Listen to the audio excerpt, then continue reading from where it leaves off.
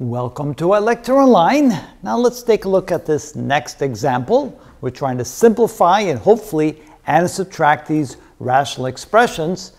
But where do we start? Well, first of all, if you take a look at the middle one, you have the fourth root of 2.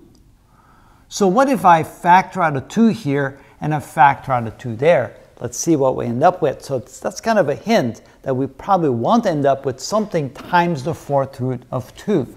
So this can then be written as 5 times the fourth root of 16 times 2, because that gives you 32. But notice we know how to take the fourth root of 16. That's equal to 2. All right?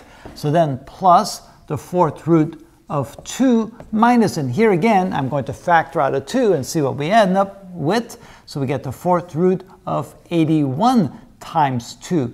And then I realize the fourth root of 81 that's equal to 3. And so now we have a path forward. So this can now be written as 5 times the fourth root of 16 times the fourth root of 2 plus the fourth root of 2 minus the fourth root of 81 times the fourth root of 2. Now, I didn't have to do that, but I did so I could illustrate that here we can simply take the fourth root of 16 and the fourth root of 81. So this is equal to 5 times 2 times the fourth root of 2 plus the fourth root of 2 minus, and this is equal to 3 times the fourth root of 2. Multiplying this together, this is 10 times the fourth root of 2 plus the fourth root of 2 minus 3 times the fourth root of 2. Wow, those are all tongue twisters, aren't they?